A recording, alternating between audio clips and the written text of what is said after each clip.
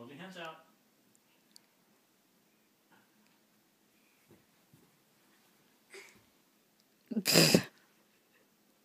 You tired? Can you kick the ball? Oh, Grandpa lay down too.